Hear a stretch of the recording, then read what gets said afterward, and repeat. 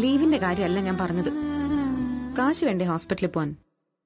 ഒരു അയ്യായിരം എങ്കിലും കയ്യിൽ കരുതണം. നിന്റെ കയ്യിലില്ലേ? അത് ശരി. അതും കണക്കൂട്ടിയിരിക്കുക നീ? ആയിരത്തഞ്ഞൂറ് രൂപ തികച്ചില്ല എന്റെ കയ്യിൽ. നാളെ ഫോൺ റീചാർജ് ചെയ്യാൻ വേണം.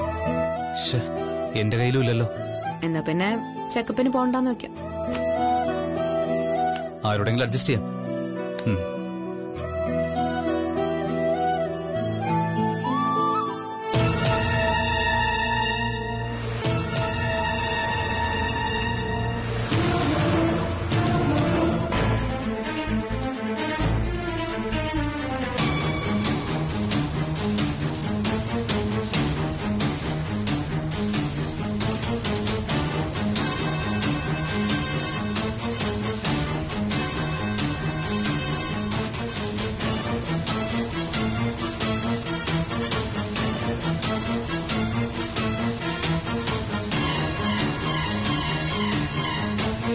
കഴിഞ്ഞ ദിവസങ്ങളിൽ നീ പൈസ ഒന്നിനും എടുത്തില്ലല്ലോ?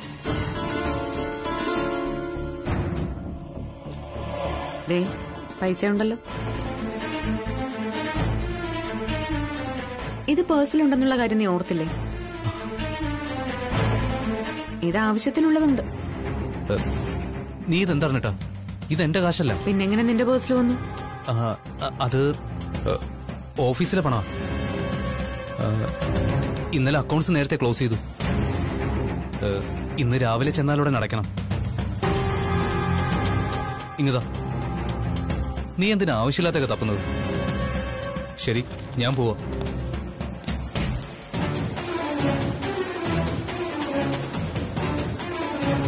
ഓഫീസിലെ പൈസ എന്തിനു നിക്കിൽ സൂക്ഷിക്കണം? അതൊന്നറിയണമല്ലോ. നിങ്ങൾ കഴിച്ചിട്ട് വേണേ എനിക്ക് കഴിക്കാൻ. ഇരിക്കു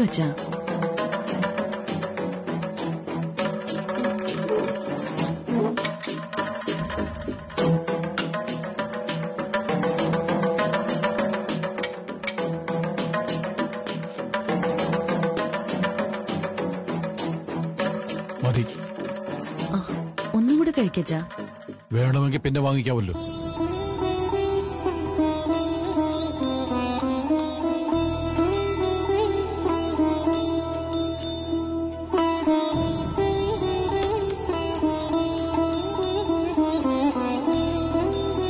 എന്തായി കാണിക്കുന്നത്? വെജിറ്റബിൾ കറിയാ അച്ഛാ അതുകൊണ്ട് എനിക്ക് കൈയുണ്ട്. ആവശ്യത്തിനെടുത്ത് കഴിക്കാൻ. വിളമ്പി കൊടുക്കണമെന്നില്ല. സർ. വേണ്ട. ഉണ്ടായിരുന്ന വിശപ്പും പോയി.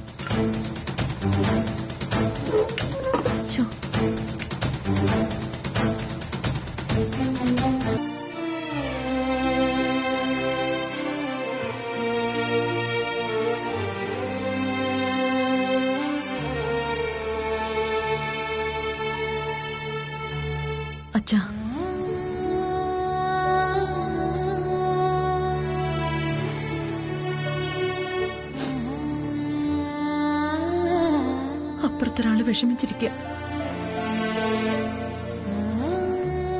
അച്ഛൻ എന്ത് പറ്റിയെന്നാ ചോദിക്കുന്നത്? എനിക്ക് എന്ത് പറ്റിയെന്ന് പറഞ്ഞാൽ വിഷമം മാറൂ. അച്ഛൻ എന്നെ ചോദ്യം ചെയ്യാൻ അരവിന്ദരാജ മീരെ ചുമതലപ്പെടുത്തി അയച്ചു തന്നു. അതോ മീര സ്വന്തം തീരുമാനപ്രകാരം വന്നു തന്നു? രണ്ടായാലും എനിക്കൊന്നും പറയാനില്ല. മീര പോ എന്താ ഞാൻ പറഞ്ഞത് മനസ്സിലായില്ലെന്നുണ്ടോ?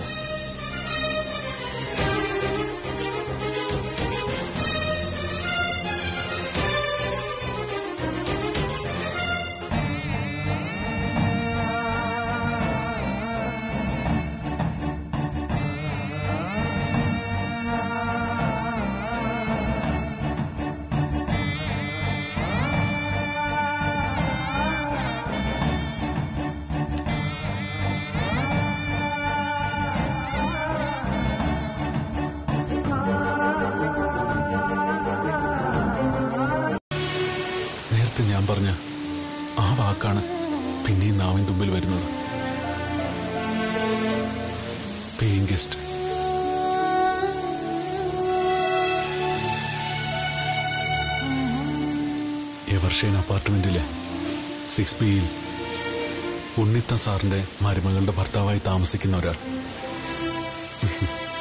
ഇപ്പൊ ഇതാണ് എന്റെ മേൽവിലാസം. ഞാൻ അങ്ങനെയൊന്നും കരുതിയിട്ടില്ല. പക്ഷെ ഫലത്തിൽ അതാണ് മീര സംഭവിക്കുന്നത്.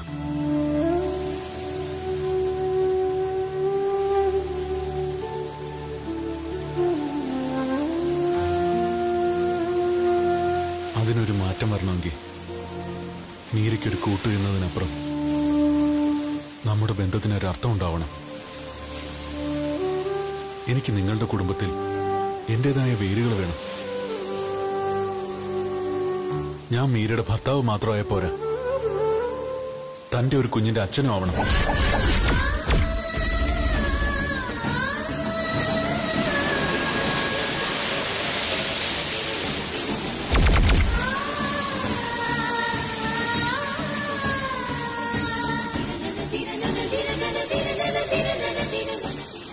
പ്രതീക്ഷിക്കാതിരുന്ന ഒരു കാര്യമാണ് ഞാനിപ്പോ പറഞ്ഞെന്നറിയാം.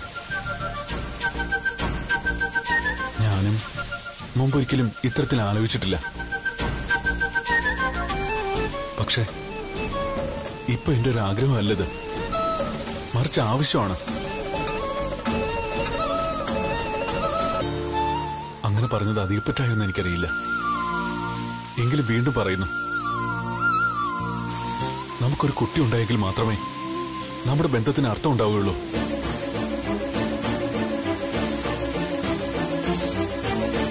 തീരുമാനിക്കേണ്ടത് മീരിയാണ്. അതിനുള്ള സ്വാതന്ത്ര്യ അവകാശവും മീരയ്ക്കുണ്ട്.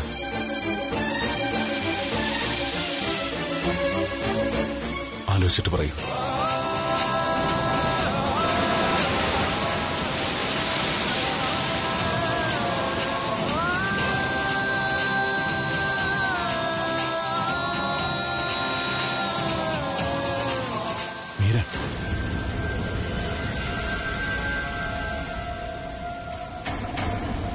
നിങ്ങൾ അമ്മയും മോളും കൂട്ടുകാരെ പോലല്ലേ?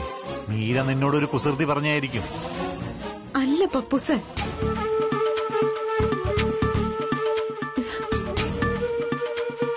ഞാൻ പറയുന്നത് അതിന്റെ ഗൗരവത്തിലൊന്ന് മനസ്സിലാക്ക. മീരാമ്മയും അരവിന്ദ് സാറും കൂടി ആലോചിച്ചെടുത്തൊരു തീരുമാനമാ. അവർക്കൊരു കുഞ്ഞു വേണമെന്ന്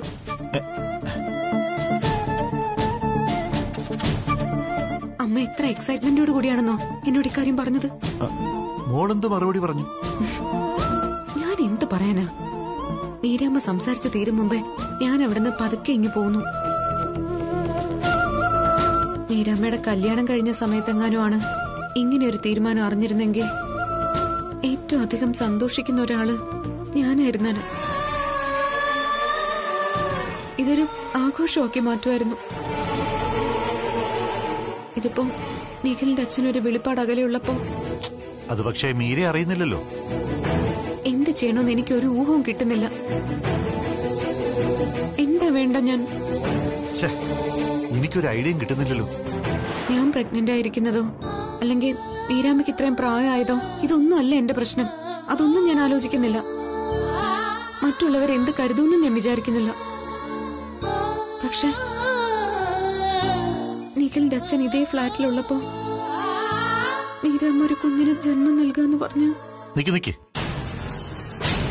അവനെന്ത് പറഞ്ഞു നിഖിൽ? നിഖിൽ ഇതുവരെ അറിഞ്ഞിട്ടില്ല. അമ്മ എന്നോട് മാത്രമായിട്ട് പറഞ്ഞതാ. നിഖിൽ വന്നിട്ടില്ല ഇതുവരെ. എങ്കിലും മോളിപ്പോ അനുഭവിക്കുന്ന ഈ ടെൻഷന് ഒരു അർത്ഥവുമില്ല. രാജയുടെ മീരയുടെ ഈ തീരുമാനത്തെ നിഖിൽ എതിർക്കും. അതിശക്തമായിട്ട് എതിർക്കും. അവൻ ഈ കാര്യം അംഗീകരിച്ചു കൊടുക്കുമെന്ന് നിനക്ക് തോന്നുന്നുണ്ടോ? അതിപ്പോ ഇല്ല. എനിക്ക് ഉറപ്പാണ് നിഖിൽ അംഗീകരിച്ചു കൊടുക്കില്ല.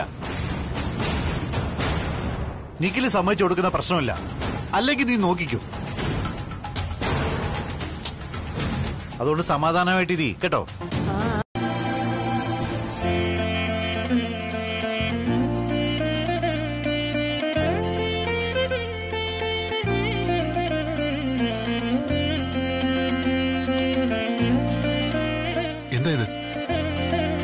മധുരമാണ്.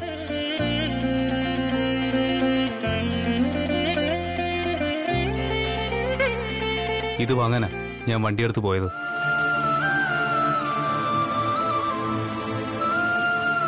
I'm extremely happy.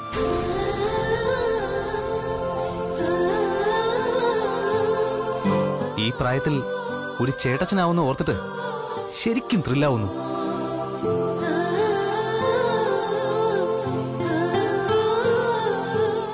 സത്യം ഞാൻ പറയുന്നത്.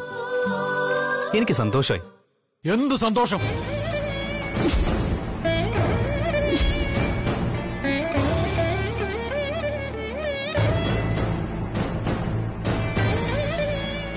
ഏത് ലോകത്താണ് നിങ്ങളൊക്കെ ജീവിക്കുന്നത്?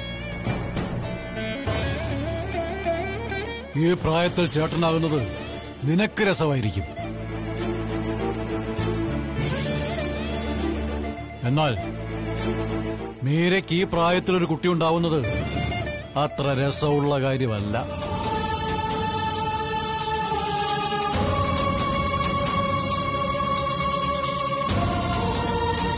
മുത്തശ്ശ അതിന് ഞാൻ നിഖിൽ ഇക്കാര്യത്തിൽ ഇടപെടണ്ട.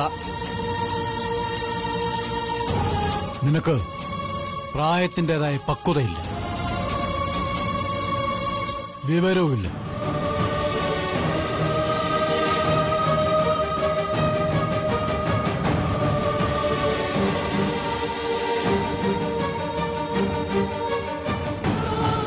സാർ. ഞങ്ങൾ ഉദ്ദേശിച്ചത് മറ്റൊന്നുമല്ല. ഉദ്ദേശിച്ചത് എന്തെന്നല്ല. തീരുമാനിച്ചത് എന്താണെന്നാണ്. അതിലാണ് കുഴപ്പം.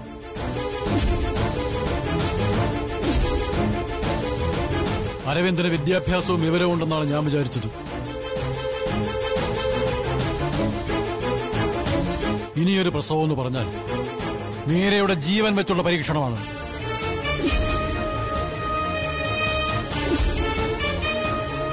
അരവിന്ദന്റെ തീരുമാനമാണിതെങ്കിൽ ഞാൻ എതിർക്കുന്നു. ശക്തമായി എതിർക്കുന്നു.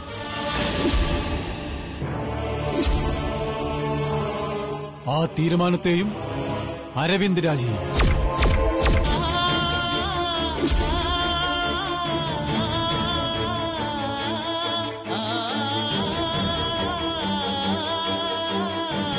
എന്റെ തീരുമാനത്തെ മറികടക്കാനാണ് ഭാവമെങ്കിൽ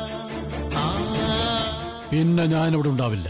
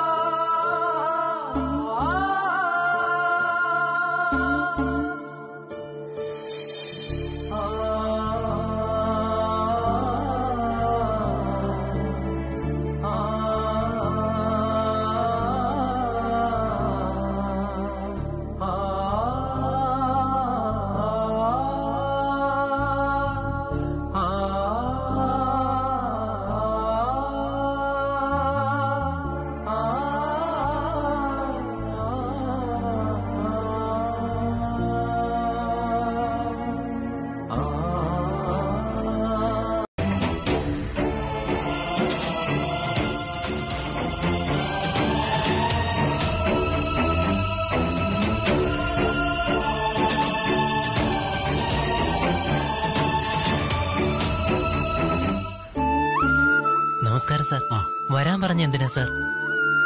വക്കച്ചൻ ഈ ബാഗുകളെല്ലാം കൂടെ താഴെ എന്റെ കാറിൽ എത്തിക്കണം ഇവിടെ പോവോ സാർ? ഞങ്ങളൊരു ടൂറിനുള്ള പരിപാടിയാ. കൊള്ളാവല്ലോ ഉണ്ണിത്താൻ സാറും ബാക്കി എല്ലാവരും കാണുമായിരിക്കുമല്ലേ ഒരു ഫുൾ ഫാമിലി ടൂർ ഇല്ല. ഞാനും ഞാനും മീരി മാത്രമേ ഉള്ളൂ. Okay sir. ശരി.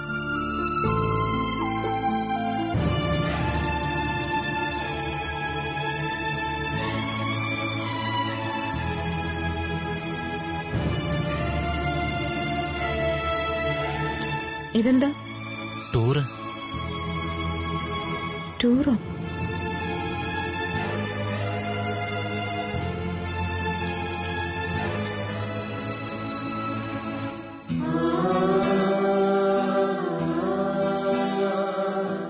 മക്കച്ചൻ എന്തിനാ ബാഗുമായിട്ടൊക്കെ പോയത്? ടൂറാണെന്നൊക്കെ പറഞ്ഞു. ഞങ്ങളൊരു ചെറിയ യാത്ര പോവാ. എവിടേക്ക്? അതിപ്പോ ഫൈനലായി തീരുമാനിച്ചില്ല. ഇതെന്തൊക്കെയാ പറയുന്നേ? വക്കച്ചൻ പറഞ്ഞിട്ട് പോയി ടൂറാണെന്ന്. സാറ് പറയുന്നു ചെറിയൊരു യാത്ര പോവാണെന്ന്. എങ്ങോട്ടാ യാത്ര എന്ന് ചോദിച്ചിട്ട് മറുപടിയുമില്ല എന്താ മീരമ്മേ സംഭവം?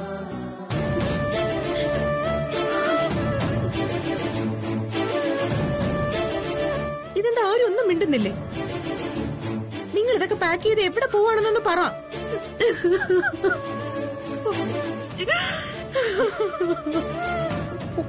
മീരമ്മേ. മീരമ്മേ. എനിക്കറിഞ്ഞൂടാ. എനിക്കൊന്നും അറിഞ്ഞൂട. എനിക്കൊന്നും മനസ്സിലാവുന്നില്ല.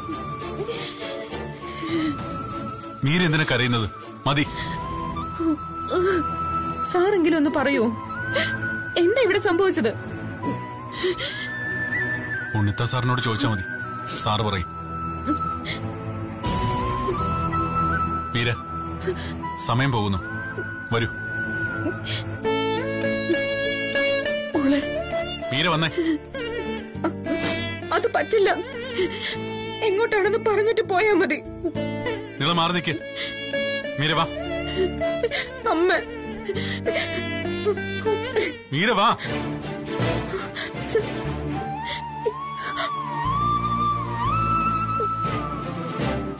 മീര വാ.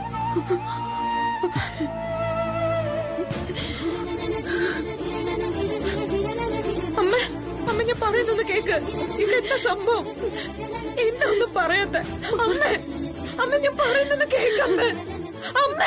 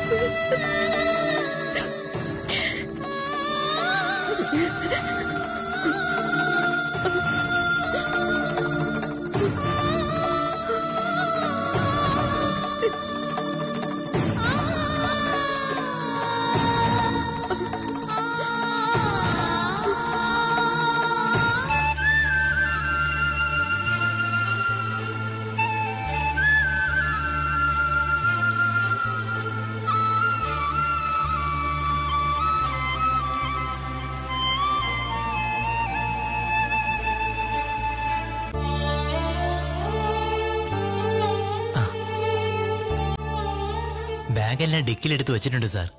ഓക്കെ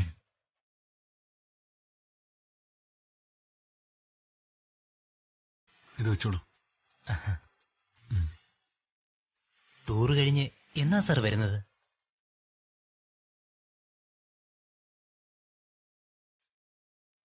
അത് തീരുമാനിച്ചില്ല വക്കച്ച. ഓ. രാഗിണിക്ക് ഇപ്പൊ ഇവിടെ ഒന്ന് കണ്ടിട്ട് എന്താ തോന്നുന്നത് ഞാനും അമ്മയും തമ്മിൽ അടിയാണോ? ആരാ ഈ വാർത്ത രാഗിണി അറിയിച്ച? ആരോ? ആരാണെന്ന് മറന്നുപോയി. എന്നാലേ ആരാണെന്ന് ഓർക്കുമ്പോ അതിനുള്ള മറുപടി ഞാൻ പറഞ്ഞുതരാം. തൽക്കാലം ഇവിടെ ഒരു പ്രശ്നവുമില്ല. പ്രശ്നം ഉണ്ടാവുമ്പോ അറിയിക്കാമെന്ന് ആ പാർട്ടിയോട് പോയി പറഞ്ഞു കൊടുക്ക. അല്ല രാഗിണി സ്വന്തം നിലയ്ക്ക് വന്നതാണോ? അതോ ഇനി ആരെങ്കിലും പറഞ്ഞു വിട്ടതാണോ?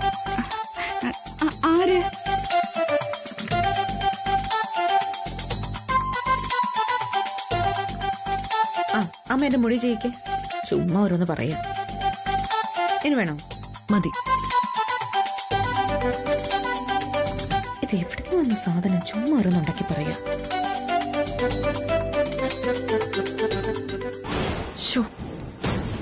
അകത്തേക്ക് പറഞ്ഞു വിട്ട രാഗിണിയെ കാണുന്നില്ലല്ലോ. ഇനി ഇവൾ നീരയായി ചേർന്ന് എന്റെ കുറ്റം പറഞ്ഞോണ്ടിരിക്കുക എന്തായി രാഗിണി? ഞാൻ ചമ്മി? അതെന്തിന്? ഞാൻ ചെന്നത് എന്തോ ദുരുദ്ദേശം വെച്ചാണെന്ന് നിളയ്ക്ക് പിടികിട്ടി. ഓ. എങ്കിലേ അമ്മായിയമ്മ മരുമോളും കൂടെ ഇടഞ്ഞു നിന്നപ്പോഴായിരിക്കും നീ ചെന്നത്. അവരുടെ ഇടയ്ക്കുള്ള ഉടക്ക് നീ കണ്ടോ എന്നുള്ള ടെൻഷൻ ഉണ്ടായി കാണുന്നില്ലക്ക് അത് തന്നെ കാര്യം. അങ്ങനെയൊന്നുമല്ല. അവർ തമ്മിൽ ഉടക്കൊന്നുമില്ല. ഞാൻ ചെല്ലുമ്പോ മീരേച്ചി നിളയുടെ മുടി ചീകിക്കൊണ്ടിരിക്കുവായിരുന്നു.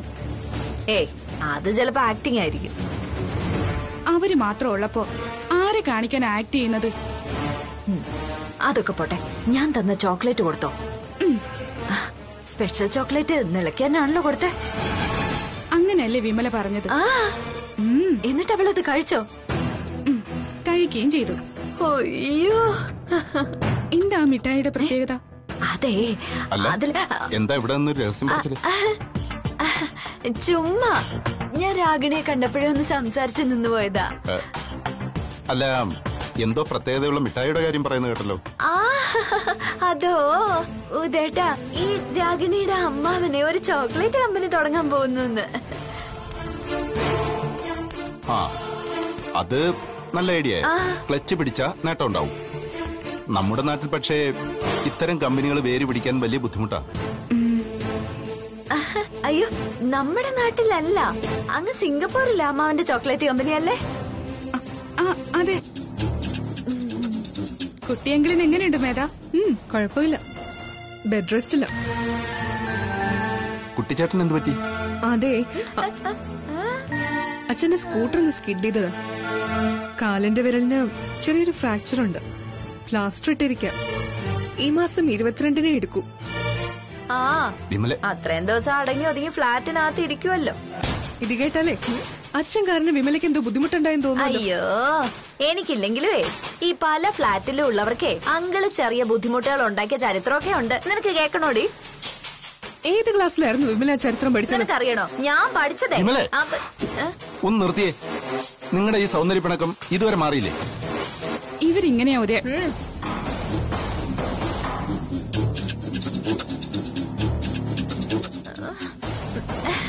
ഉദേട്ടാ ഞാൻ ചുമ്മാ മേധയെ ചൂടാക്കാൻ വേണ്ടി ചില തമാശയൊക്കെ പറയുന്നല്ലേ ഈ തമാശ പറച്ചിലിന് എന്നെങ്കിലും നീ എന്റെ കൈയുടെ ചൂടറിയും. ആ പിന്നീടാവട്ടെ. ഞാൻ വന്ന് കുട്ടിച്ചേട്ടനെ കണ്ടോളാം. ഇവൾക്കൊരു പണി കൊടുക്കാം.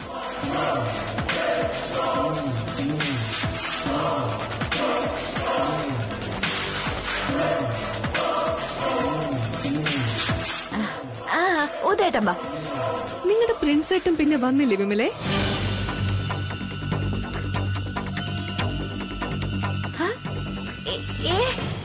എന്തുവാ? ആര്? ആ പ്രിൻസേട്ടും ഈയിടെ വന്നില്ലേ? പ്രിൻസോ? നിങ്ങൾ രണ്ടുപേരും കുറെ നേരം ഇവിടെ നിന്ന് സംസാരിച്ചായിരുന്നല്ലോ. ലതേന്റെ ഒപ്പ സ്ഥലത്തില്ലായിരുന്നു എന്നാ തോന്നുന്നത് ഇവളെനിക്ക് മനഃപൂർവം പണി തരുവ?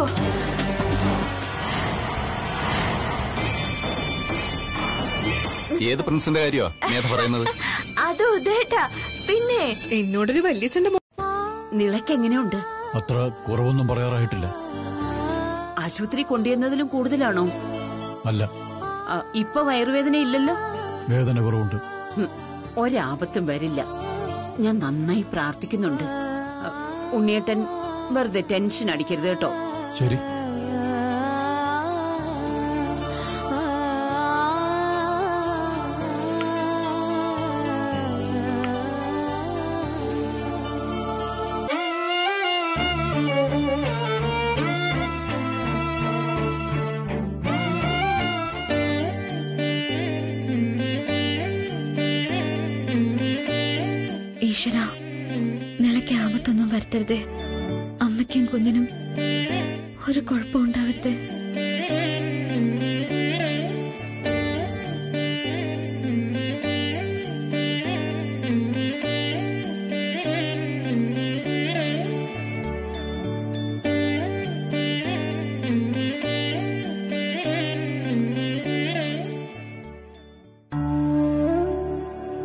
ബാബുജിയും പ്രാർത്ഥനയിലാണല്ലോ. നിളയ്ക്ക് വേണ്ടി പ്രാർത്ഥിക്കായിരുന്നു. നിളയ്ക്കും കുഞ്ഞിനും കുഴപ്പമൊന്നും ഉണ്ടാവില്ല. എത്ര പേരുടെ പ്രാർത്ഥനയാ?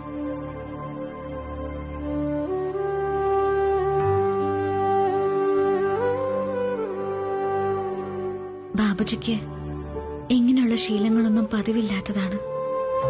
സ്വന്തം മകന്റെ കുഞ്ഞും അതിന്റെ അമ്മയുമാണ് ആശുപത്രിയിലെന്ന് ആ മനസ്സിൽ എവിടെയോ ഒരു തോന്നലുണ്ടായിരിക്കും.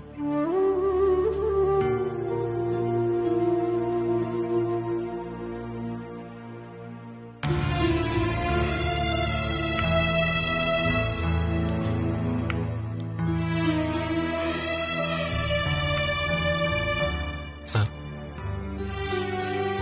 സാറൊന്ന് അവിടെ പോയി ഇരിക്കണം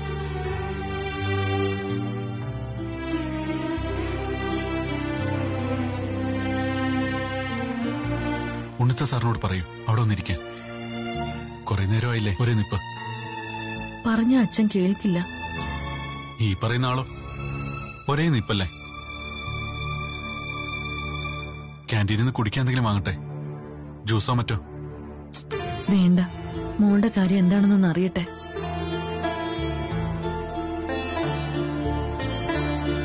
എത്ര നേരം വെച്ചിങ്ങനെ കാത്തു നിൽക്കുന്നത്? ഇവരാണെങ്കിൽ ഒന്നും പറയുന്നില്ല സിസ്റ്ററിനോട് ചോദിക്കുമ്പോൾ പറയും ഡോക്ടറിനോട് ചോദിക്കാൻ. ഡോക്ടറെ പുറത്തോട്ട് കാണുന്നില്ല വേറെ എവിടെയെങ്കിലും കൊണ്ടുപോയാൽ മതിയായിരുന്നു. അടുത്തുള്ള നല്ല ഹോസ്പിറ്റൽ ഇതല്ലേ? ഞാൻ കയറി ചോദിക്കാൻ പോവാ. നിഖിൽ. എന്താ നിഖിലെ കാണിക്കുന്നത്? അവൾ ഐ സിയുലല്ലേ അങ്ങനെ കയറി ചോദിക്കാൻ പറ്റുമോ എങ്കിൽ ഒരു പേഷ്യന്റിന്റെ വിവരം നമ്മൾ അറിയിക്കണ്ടേ?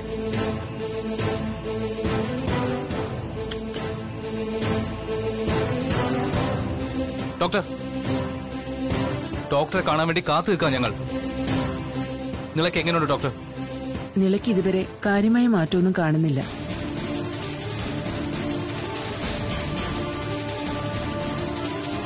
ഒന്ന് രണ്ട് തവണ ഒമിറ്റ് ചെയ്തു. അതല്ല പ്രശ്നം. ബി പി സ്റ്റഡിയല്ല വേരിയേഷൻ ഉണ്ടാകുന്നു. ഇനിയിപ്പോ എന്താ ചെയ്യേണ്ടത് പറ. മെഡിക്കൽ കോളേജിലേക്ക് മറ്റോ കൊണ്ടുപോകണം? അത് ആലോചിച്ചോളൂ.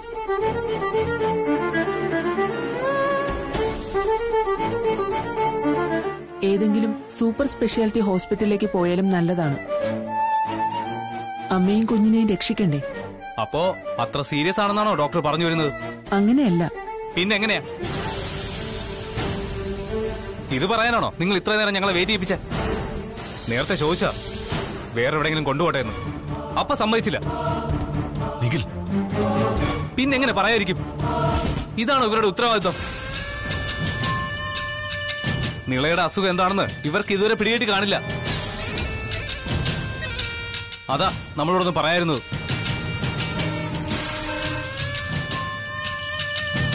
ദേ അവൾക്ക് എന്തെങ്കിലും സംഭവിച്ചാണല്ലോ.